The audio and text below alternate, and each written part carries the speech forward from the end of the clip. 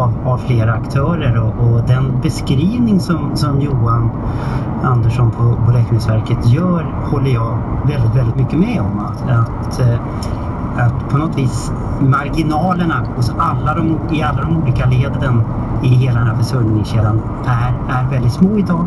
Så en störning någonstans kan ge de här effekterna. Men jag vill påpeka att när man, de flesta av de här restnoteringarna som, som, som vi pratar om nog ganska enkelt att åtgärda för det kan finnas en annan leverantör som har ett precis likvärdigt preparat. Men sen finns det ett antal kritiska rester eller brister när det inte finns ett annat likvärdigt preparat här på den svenska marknaden. Och då har vi precis den här allvarliga situationen som beskrevs i DN debattartikeln. Men om vi håller oss till, till er då?